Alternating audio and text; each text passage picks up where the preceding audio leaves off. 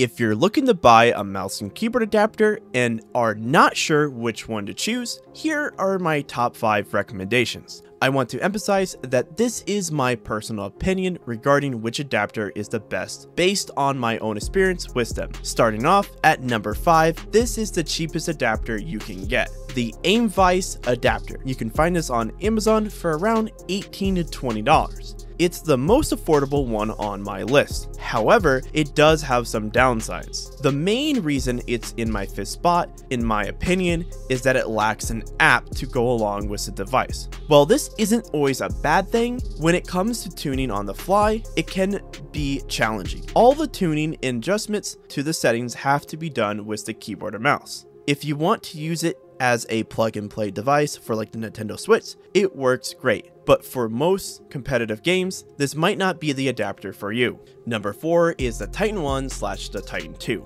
These devices are essentially the same, but they do feature the mouse and keyboard support. They offer more than just a normal adapter, including special features like a tunable app for your controller and an input recorder, custom scripting, and custom coding. You can create any code and any mod you want, and you can use any controller on any console.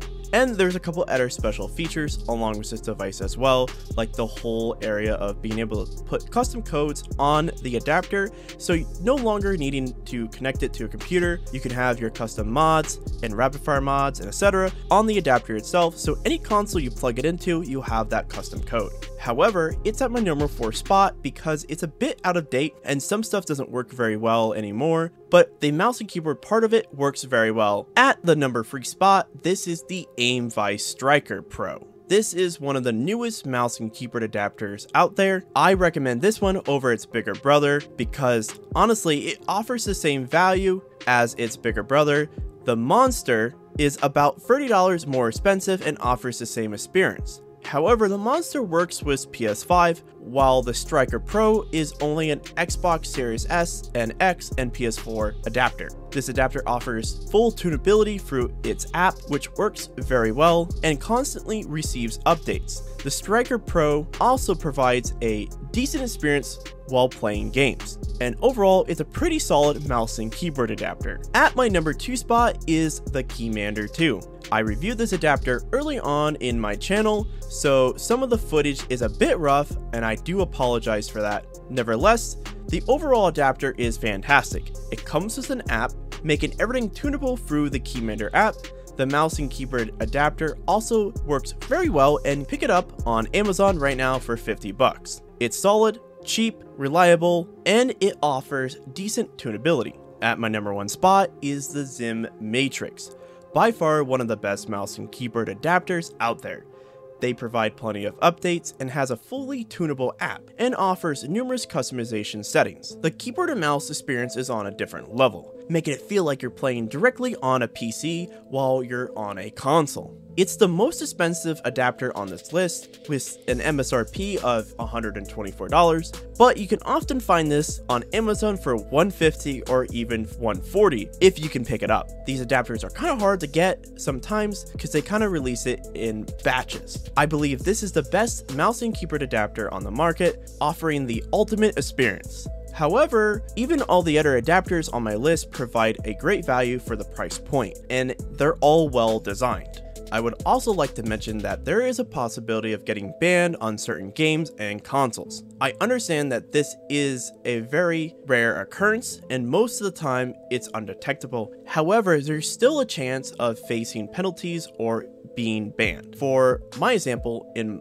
the case of Mousetrap for Rainbow Six Siege, it may result in a penalty, but not a ban. There are some methods around it, such as the PC method, but I haven't confirmed if it works or not, so its effectiveness is currently unknown. Additionally, people have been reported getting banned from servers like Rust for using mouse and keyboard. Please take this information with a grain of salt, and if you are willing to take the risk, proceed with caution. These are also considered as cheating in some scenarios because it does provide a advantage over controller players, but I think if you're good on controller, you don't really have to worry about someone using mouse and keyboard.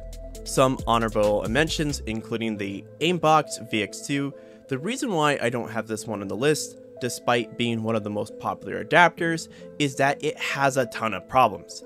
In my case, mine stopped working and bricked itself after a few months of use. I didn't use it very often, mostly for testing, and it just stopped working. I maybe put 20 hours at most on this adapter and it died. Apparently the app doesn't work anymore and I still have the app installed on my phone, so that never occurred to me that the app is just apparently off the marketplace. But some people it's not an issue, but there is also some problems of being able to download the APK that they offer on their website and it not working on your device, and keyboard and mice not recognizing, and etc. That's why it's not on my list and it, it is an honorable mention because sometimes it works very well and sometimes it doesn't. I've seen lots of people use it and I've talked to some people in the community that do love it, but honestly, it's not that great and there's better ones out there that work and also still have an app that's on the marketplace.